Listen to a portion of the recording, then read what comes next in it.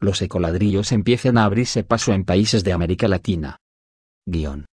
Las botellas PET rellenas de envolturas plásticas y otros residuos inorgánicos limpios y secos, conocidas también como ecoladrillos, comienzan a abrirse paso en diferentes países de América Latina, como materia prima importante para las construcciones ecológicas que promueven el cuidado del medio ambiente.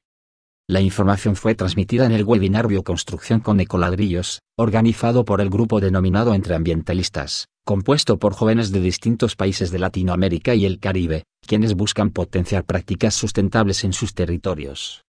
En el conversatorio remoto compartieron sus experiencias, Carolina Vaca Guzmán de Bolivia, directora de Extenverde, Felipe Castillo de Chile, miembro de la Fundación R, y el profesor Homero Parra de Venezuela, director de la Escuela de Arte Los Carinas.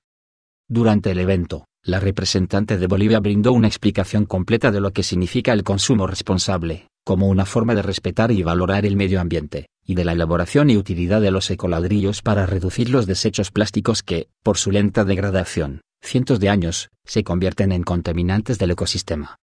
Baca Guzmán se refirió a la forma adecuada de fabricar ecoladrillos, de forma que sean adecuados para la construcción, y dijo que estos deben ser compactos y resistentes. Recordó que Extenverde lleva tres años creando proyectos con este material y que actualmente, está finalizando el proyecto de construcción de un aula ecológica en una escuela en Achocaya, en la localidad de Mayasa del Departamento de La Paz. Desarrollo.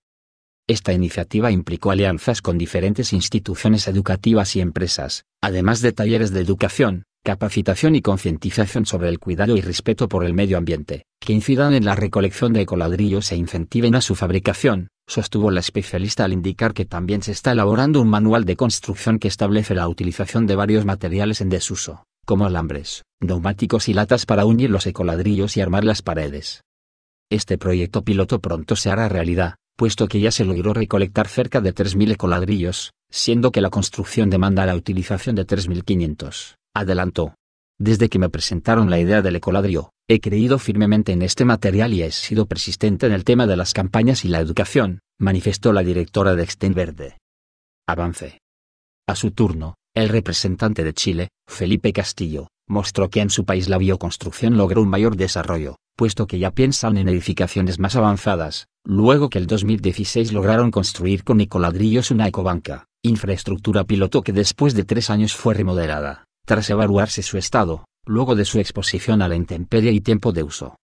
Castillo explicó que los proyectos de bioconstrucción en su país deben basarse en tres pilares fundamentales. El primero se refiere a la educación que permita concientizar a las personas acerca del cuidado de la naturaleza, que incluye la temática del ecoladrillo. El segundo pone énfasis en el acopio y traslado de los residuos, determinando diferentes pasos de control para supervisar que el material esté bien fabricado, antes de ser utilizado, y el tercero que hace referencia a la reutilización, estableciendo estrictos y rígidos parámetros constructivos, puesto que en Chile se viven constantes movimientos sísmicos.